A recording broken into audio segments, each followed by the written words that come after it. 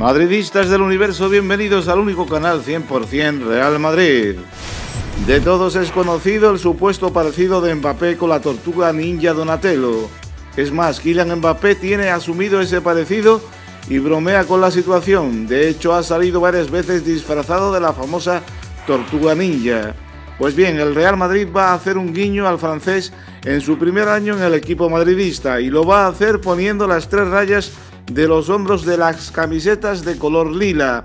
Pero hay más, la segunda camiseta será totalmente lila con algunos dibujos de fondo.